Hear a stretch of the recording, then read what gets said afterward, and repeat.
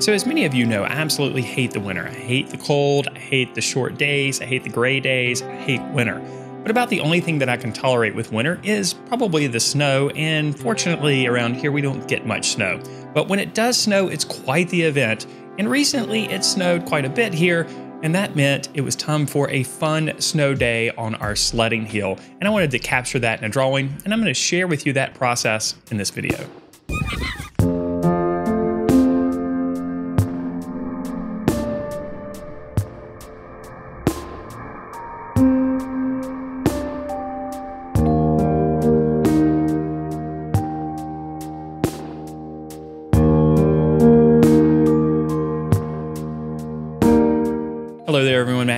Thevirtualinstructor.com. And in this video, I'd like to share with you the process of creating a piece of art that captures a memory, a personal memory, a memory of mine, a recent personal memory, um, where I take my kids sledding on our local sledding hill. It doesn't happen often that we get snow, but we did get some snow. So, uh, of course, it, meant it was time to go sledding. And I want, wanted to capture this particular memory so that it looked a little bit like a traditional, almost folk artish painting but I also wanted to use colored pencils. So uh, I'm going to share with you that entire process in just a minute. But I'd like to remind you, if you're new to the channel or if you haven't done so yet, make sure you subscribe and click on the notification bell so you're notified when we upload new videos like this. We cover a broad variety of drawing and painting media and subject matter here on this channel. And if you want to go deeper with your drawing and painting skills, we do have a membership program over at thevirtualinstructor.com, which includes a variety of drawing and painting courses on a variety of subject matter and media, including a few courses on colored pencil drawing, of course. If you want to check out our membership program, I'll leave a link in the description below. You can go check it out for free for seven days and see if the program's right for you. If you want to just dabble a little bit and uh, take a look at three of our course videos and ebooks for free, I'll leave a link in the description below for that as well. Now for this particular drawing, I use Prismacolor Premier colored pencils, which are wax-based pencils, but of course you can use any brand that you wish and get similar results. I also use just a bit of pan pastel. Now this of course is not required, but I do use the pan pastel material to basically create an underpainting or a base in which to apply colored pencils over the top. This drawing is created on Stonehenge paper, which is a wonderful surface for colored pencils. It's 100% cotton, it's very soft, but it does require the artist to apply multiple layered applications with colored pencils, so keep that in mind. If you want to build up lots of depth and color, of course, layering is very important, and this paper encourages it and helps you do it. Of course, when we're dealing with composition, we're talking about the way the elements are laid out within the picture plane. And composition, of course, influences the way a viewer is going to interact with your piece. So it influences the way a viewer's eye is going to move through the piece. Uh, when I when I look at this, my eye kind of comes in in this area and then moves its way back to the back of the sledding hill in these distant houses back here. Part of that is because of the layout of the land and the way that we have these little hills that overlap each other. I wanted to accentuate that in the final drawing, or at least capture that in the final drawing, of course. Now, another important aspect about composition, of course, is the focal point. Now, the focal point is um, most of the time the area of importance within a scene, and a lot of times it's where your eye is going to go initially. Now, in this particular case, I'd have to argue that the focal point uh, could be these folks right here, which are my family members. This is my wife, and this is my youngest daughter, and that is my son. I have four kids, so it's a wild place that I live in. I wanted to point out where they're positioned within the picture plane. There is a construct or a device that you can use in your compositions called the rule of thirds, which is based on the golden mean or golden proportion. Now, the way the rule of thirds works is if you consider breaking the composition down into thirds. So I'll just quickly uh, guesstimate here. We'll say that one third is right here and uh, one third is maybe about right here. Um, and then we could do this not just vertically, but also horizontally. So we'll just guesstimate that one third is right here and another is right here. We can see that there are some intersection points that happen here. In these intersection points, there is one obviously right here, one right here, and one right here, and one right here. These are typically good places to put focal points. It typically leads to a more aesthetically successful composition. If we take a look at the positioning of my folks down here, we can see that they line up with an intersection point uh, using the rule of thirds. Another thing you'll notice is that on this top dividing line here, that this lines up with the horizon line off in the distance. So that also works out pretty well for our rule of thirds here. So those factors, of course, are helping to make this composition a lot stronger. Now, in this photo reference, you'll notice that uh, there there are steps or footprints made in the snow over here. In the final drawing, I decide to leave those out so that we have a big rest space uh, over here. And uh, that, uh, of course, allows more focus on our focal point here in the foreground. One more thing regarding drawing or painting snow before we get into the process, and that deals with the color, the hue, or the value of snow. Snow usually has a value associated with it other than white, so it's usually a little bit darker than white, and it also usually has a hue associated with it or a color. To illustrate this, you can see I've placed a white circle over the top of the snow here in the foreground so that you can see the contrast in value and color. We need to keep this in mind when we draw or paint snow.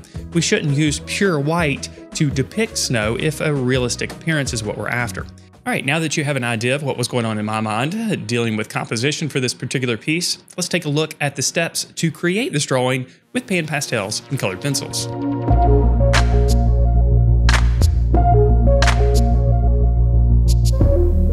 Begin here on Stonehenge paper using a light graphite pencil. In this case, I'm using a 2H graphite pencil. This is going to be light enough so that it doesn't overpower the image, but I can still put a little bit of pressure on the pencil to make the marks dark enough so that I can see them here.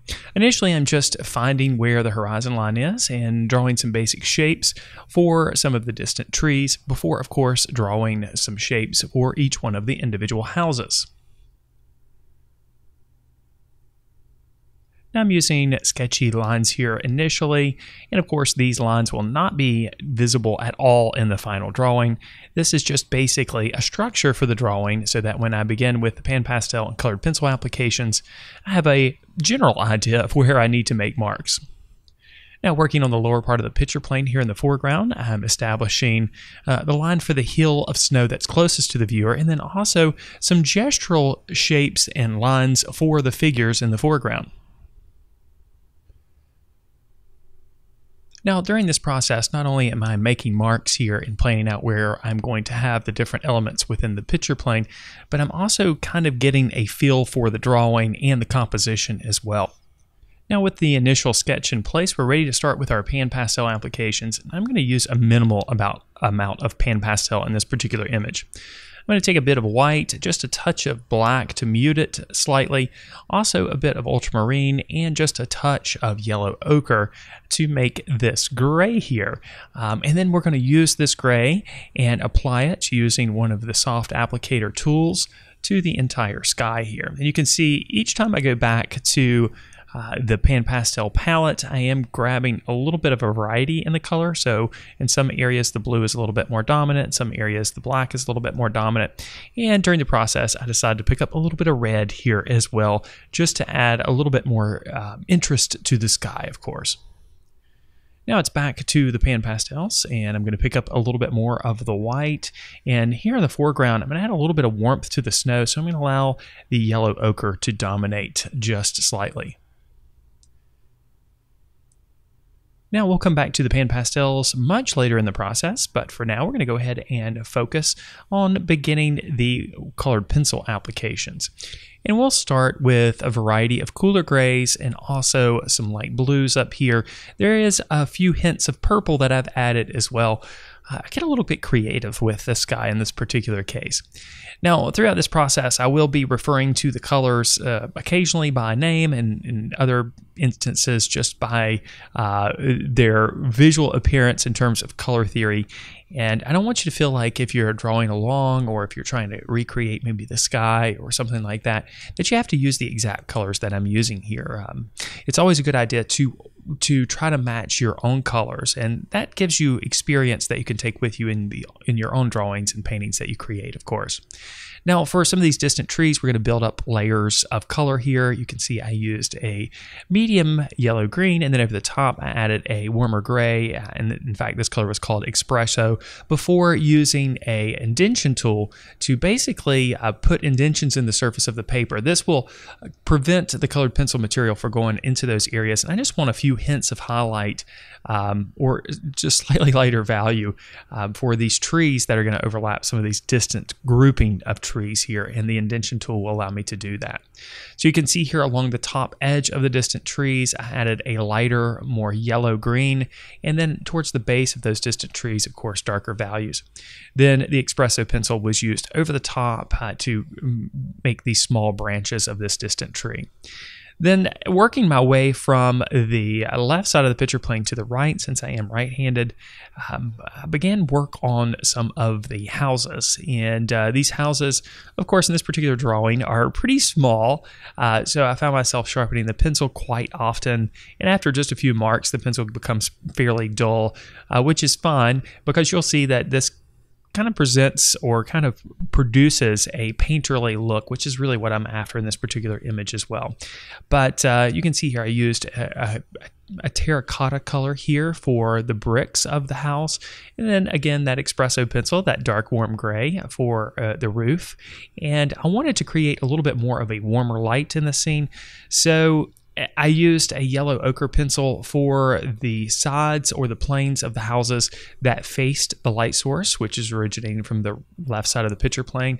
And then for the shadowed side of the houses and for the shadows throughout the image, I chose to use a, a blue here, somewhat of a cerulean blue here for the shadowed areas.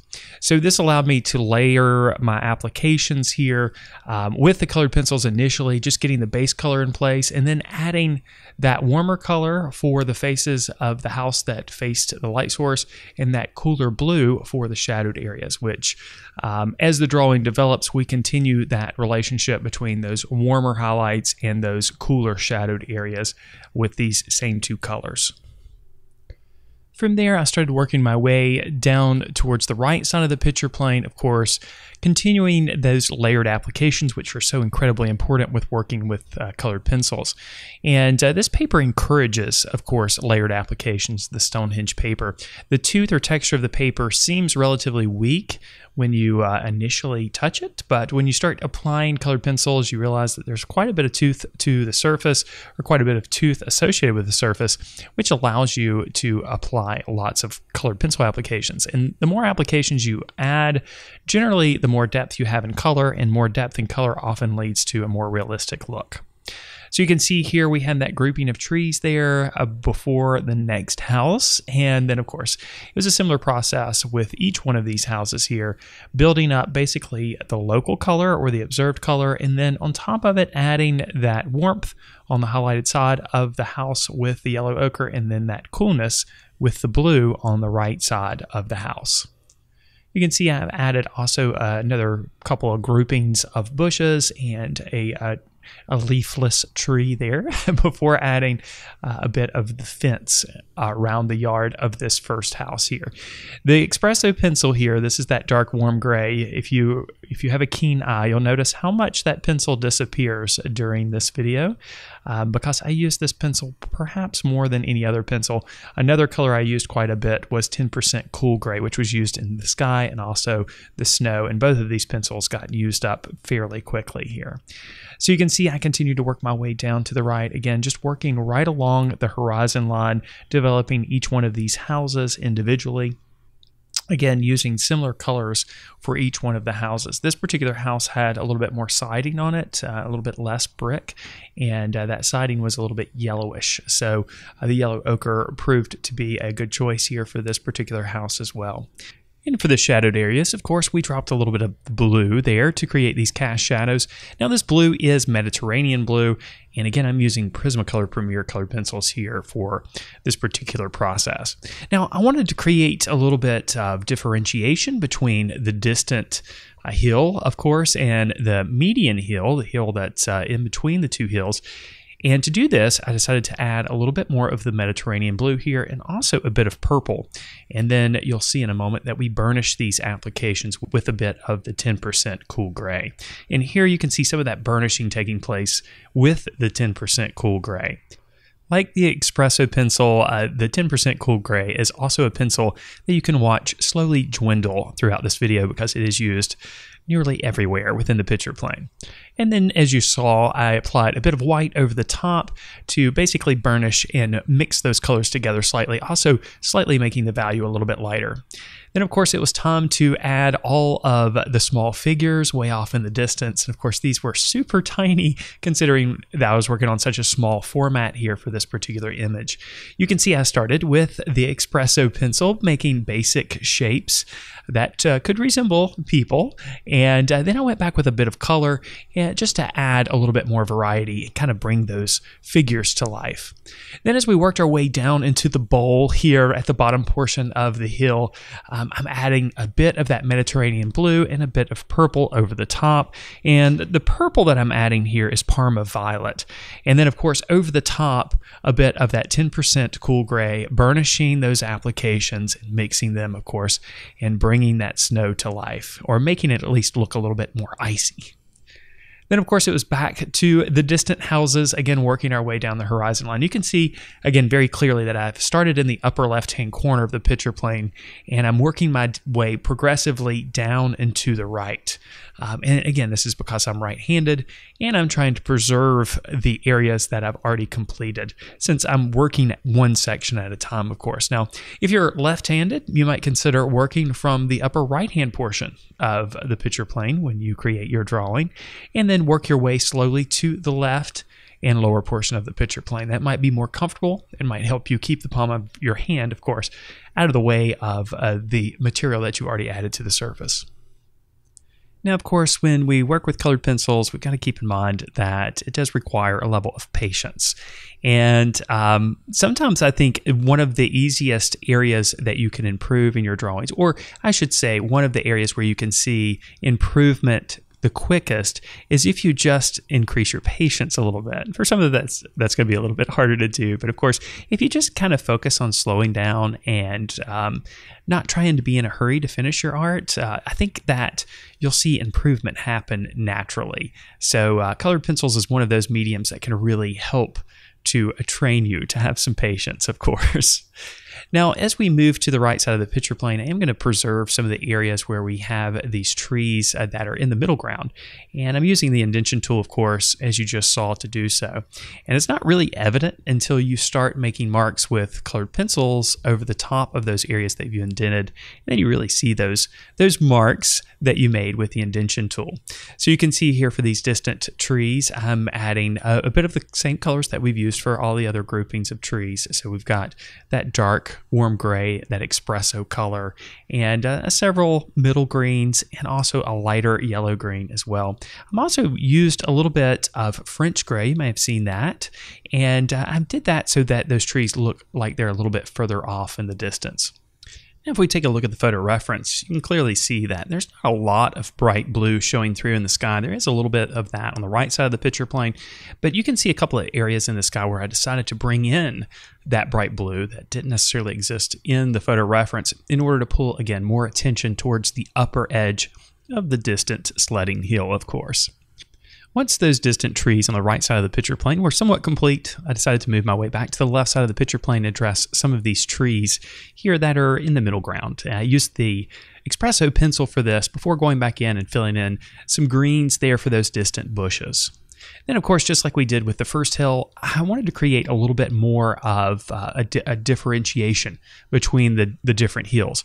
Of course, we really can't see this. We can see it to a certain degree in the reference, but it's not necessarily as clear. So, uh, a little bit of a cool color down on the lower part and complemented by a warmer color at the upper edge of each one of these hills helped to create that contrast that I needed there. So uh, layering some of those blues, mainly the Mediterranean blue and also that Parma violet on the lower portion, and then going over the top of that entire area with a bit of the 10% cool gray before burnishing everything with a white colored pencil really helped to create that differentiation that I was looking for. And you can see here there are several layers applied here. We're still seeing small specks of the paper, and some of that is just due to the nature of the paper, of course, and the size of the drawing. All right, here I decided to add a few folks here uh, in the middle ground. And of course, you when you're doing an image or, or drawing or painting an image where you've got uh, some small figures in the, the background, maybe some medium-sized figures in the foreground, or maybe some larger figures in the foreground, um, you have to be careful of the proportion. So we want to make sure that proportionally speaking, these shapes that we draw here are make sense with the distant figures and of course the figures that we're going to add in the foreground. So in this particular image, we have figures that are really far off in the distance figures that are uh, still pretty far off, but a little bit closer to what we would consider the middle ground, and then figures that are in the extreme foreground as well. And uh, you know, if you get the proportions off in one of these sections, it might throw your whole drawing off. So it's important to kind of check back and forth and uh, just make sure that you're consistent with uh, the size of the figures. And uh, you can see I deviated quite a bit from the photo reference on uh, what figures I included and also the colors that I decided to to use on each one of these groups of people. Now, of course, directional stroke making is very important, uh, whether you're creating a painting or a, graphite drawing, really. And it's also important when we're working with colored pencils. And you can see the directional strokes that I've made, uh, especially in the snowy areas, are I'm trying to flow along with the contours of these sections. So I'm trying to uh, communicate the form of these different sections through the strokes that I make with the colored pencils. And I think it's important to think of this, of course, when you're making your marks in your own colored pencil drawings. Now, of course, I've added some more figures here, again, using the Espresso pencil initially, and then going back with uh, some darker colors, in this case, a bit of indigo blue. The indigo blue mixes nicely with the Espresso to create somewhat of a natural black. It's not super black, it's kind of a, a gray, but it it's a nice darker value to work with. And then after I added some color to each one of these figures, I added shadows, of course. And I'm using the Mediterranean blue for this. And I was taking into account the form of the terrain uh, when I added these shadows. I know the light source is originating from the left side, but you can see uh, with the figures on the hill, I purposely made the shadows kind of flow down the hill where we had the figures on the, the bowl or the lower portion at the bottom of the sledding hill. Uh, the, the shadows straightened out quite a bit. And of course, that helped create that illusion of form there as well. After that, it was time to move to the right side of the picture plane. And again, I used the indention tool to basically just plan out where some of these trees that would overlap the middle ground and background where they would be located. And that gave me freedom to make the values darker or lighter. I basically could just preserve these areas until I was ready to address them. And then, of course, just as we did with the other bushy areas, uh, I, I, added a bit of the espresso pencil, and then that was followed by some indigo blue in areas, that middle green, a lighter yellow green, of course, on the highlighted side of the bushes, and uh, no black. I should point out that black is not used at all in this drawing. I tend to avoid black when working with colored pencils because black can look very flat. That's not true for all colored pencil manufacturers.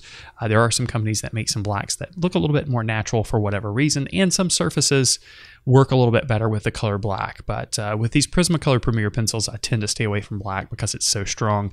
Instead, I just mix darker values, and uh, dark browns and dark blues work great to create those darker values and there's a lot of darker values over here on the right side of the picture plane. As you can see, I'm using quite a bit of the Espresso pencil here. But you can also notice here as we're zoomed in very close how well the indentation tool works. And of course, if you're not familiar with the indenting tool or indention tool, um, it comes in a variety of different sizes, different tips, just like pencils, and different widths, of course. And uh, you can use it to put indentations in the paper to preserve areas, especially helpful when using colored pencils or any other medium where you want to uh, preserve areas and not allow the, the medium to kind of go into those recessed areas. So you can see here we're finishing off the top part of the sky here before continuing work on the right side of the picture plane. Now, this particular area that we're working would be considered maybe the middle ground. And we can create the illusion of space within a scene by manipulating the value of the objects within the scene. And value is the darkness or lightness of a color. So typically, objects that are further away are lighter in value, and objects that are closer to the viewer have a broader range of value, meaning we might see additional contrast in value in those areas. So, because this area is a middle ground, we need to make sure that there's uh, more contrast in this area, or at least some darker values in this area, so that the areas behind it or further away appear a little bit lighter in value. We can see this with the grouping of trees that's in the middle ground and compare it with the grouping of trees that's in the distant background, and how much lighter those groupings of trees are, the ones in the background, compared to the ones that are in the middle ground. Of course, we had a grouping of trees perhaps in the extreme foreground. We don't in this scene, but if we did, of course, the trees in the extreme foreground would, would have an even broader range of value, meaning that there would probably be some darker values in the foreground compared to the middle ground. Now you can see I've added a fence and added a few more trees here, and I can use that pencil here. Uh, this is a actually a dark umber pencil, um, or I can use really any other pencil that I wish to go into some of those grooves that uh, I've left with the indentation tool. Now I want some specks of the paper to still show through, perhaps in some of those areas, just so that we have a bit of variety in the color and our trees aren't uh, one color, but we see a little bit of a hint of highlight here and there. Uh, it does take some effort to fill in those grooves, but you can fill them in if you want to, depending on the surface that you're working on. Of course, there are some branches and things that uh, are happening underneath the bushes here in the foreground. And of course, that tree here in the foreground, too, are really a transition area between the middle ground and foreground. Now, my plans for the extreme foreground are to basically leave uh, most of the area devoid of all the footprints that are there in the reference and only leave footprints behind the figures that are there. So that means that the area in the lower left hand portion of the picture plane is going to act somewhat as, as a rest space. And so I decided to go ahead and move on to the figures before addressing the snowy bank. Um, and I started here with a bit of espresso and then layered over the top of it with some indigo blue to create those dark values. And of course, a pink and a variety of reds there in the shadowed areas. And uh, I just repeated this for all of the figures. Of course, we don't have to add every single detail that we see or we think we see. We can kind of insinuate things. And uh, if you've been watching this video and paying attention, of course, you've probably noticed that, uh, and you can really see this clearly with the houses on the distant uh, on the distant sledding hill that we're just basically using shapes of color and value, and we're we're giving the viewer enough information to put the rest of the story together in their own mind. So we don't have to describe every single detail that we see. It's really just a method or a process of recognizing shapes of color and value and then positioning those shapes of color and value in a similar way as we see them in the reference or with a live subject. So you can see here as I've layered in the colors for the figures, um, this is another good example of where you might assume that we have just one color to add in some of these areas, but instead it's several different colors that are layered uh, upon each other to build up depth and complexity there, of course. And uh, the more you do this, of course, the more realism you're going to achieve in your colored pencil drawings. And also, the quicker you're going to get to that point where you've got enough of that waxy material on the surface where it really becomes uh, a process that's akin to painting instead of drawing. So here we're adding a bit of pink over the top of the purple, again, just to add a bit more variety to the color. And if you're wondering what colors you can add, you might see a section um, that, and you think, well, I have the perfect color for it, and you just might pick out that color.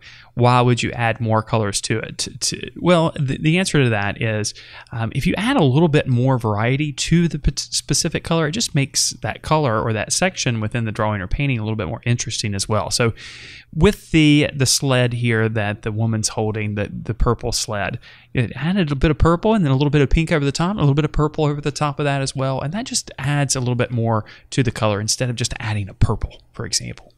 Now you can see here I've gone back with the pan pastel and here in the foreground I'm adding a bit of snow uh, covering the entire area and you'll notice that the snow is warm so a bit of yellow ochre is mixed in with the white and of course a touch of black there just to, to mute it back a little bit. And uh, we see that warmth through the snow throughout this uh, this drawing. Uh, because of the base layers that we added with the pan pastel. So we're going to continue that in the foreground. And we're going to allow the lower part of the foreground to be a little bit cooler and the upper portion of the foreground to be a little bit warmer. Uh, so you can see here I'm adding a bit of a lighter blue here to the snowy area as well to make it feel a little bit cooler before going back over the top of it with a 10% cool gray and then of course a bit of white as well. And uh, here is another area where you can really see where the directional stroke making plays a role in communicating the form. I tried to make these strokes flow along the form or the contour of this hillside in the foreground. Now for the part that I waited the longest for, and that was, of course, to add these footprints. Um, and of course, I wanted this image to tell a story, and I wanted only these three figures here in the foreground to uh, to be the first people to have uh, gone over this snowy bank here. So that's why I decided to leave out the other footprints and just focus on the footprints leading to the three individuals making their way to the sledding hill. And then, of course, after burnishing some of those applications with a bit of the 10% cool gray, I went back to the figures and made some final adjustments here, making the contrast a little bit stronger and adding a few bits of shadow here and there to the backside of some of the clothing. Then I decided to make the lower portion of the left side of the picture plane a little bit cooler, and I did that again with a bit of a lighter blue there just to create a little bit more variety.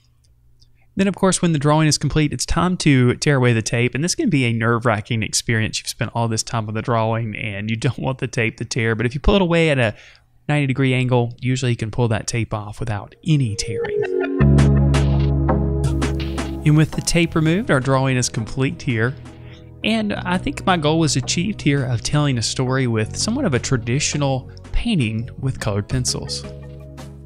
Thanks so much for watching this video. I hope you enjoyed it. Hope you were able to pick up a couple of things here and there. Remember, if you're new to the channel, subscribe and click on the notification bell. If you want to check out our membership program, there's a link in the description below. And if you want to check out three free course videos and ebooks, there's a link in the description below for that as well. Thanks again for watching. And as always, I wish you all the very best in your artistic success.